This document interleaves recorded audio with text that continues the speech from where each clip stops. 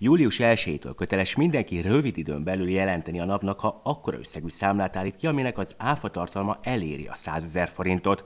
A változás minden vállalkozót érint, aki nagyjából 470 ezer forint összegű bevételre tesz szert egyszerre. A változtatás célja az volt, hogy fehéredjen a gazdaság.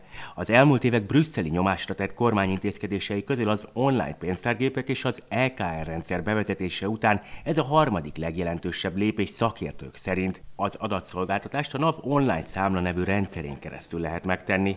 Az érintett vállalkozásoknak eredetileg július 1-ig kellett regisztrálniuk, majd kitölteniük a szükséges dokumentumokat. Ennek a szankciómentes időszaknak a lejártát követően az adatszolgáltatási kötelezettség elmulasztása, késedelmes, hibás, hiányos vagy pedig valótlan adattartalmú teljesítése mulasztási bírságot vonhat maga után, ez azt jelenti, hogy ennek a felső határa magánszemély, magánszemély esetében 200 ezer, más adózó esetében pedig 500 ezer forint lehet számlánként. A bírság tehát jelentős, az adóhatóság viszont megengedően viselkedik a késlekedőkkel.